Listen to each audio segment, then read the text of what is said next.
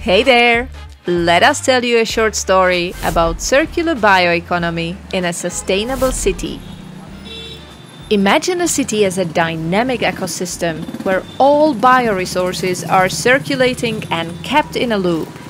They are not wasted, but instead, they are transformed into valuable assets like recovered nutrients, bioenergy and biofuels, materials, and value added byproducts. Waste prevention, especially food waste, is a top priority.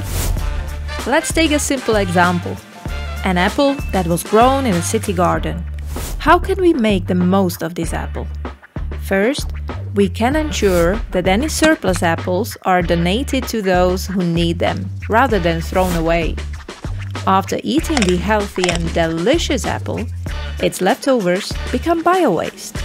If bio-waste is separately collected, we can produce biogas, which can be used for heating, electricity generation, or transportation. Or we can use it to make compost, a natural fertilizer that enriches the soil and help grow more food. This way, we can close the loop, and that's the magic of circular bioeconomy.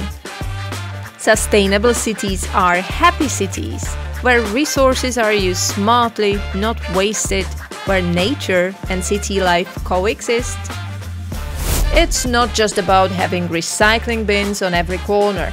It's about rethinking the entire system, finding smart ways to make the most of it. And that brings us to the heart of our story. Seven partners from six European countries have come together under the Interreg Europe CITISYSTEM project to tackle a common challenge of making our cities sustainable through circular bioeconomy. CITISYSTEM isn't just a name, it's a journey. Journey of supporting cities in sustainable, bio-based systemic change. City, that city is where we live, work and play system, that's the big picture, how the entire ecosystem operates. The question is, how are the CITISYSTEM partners turning their vision into reality?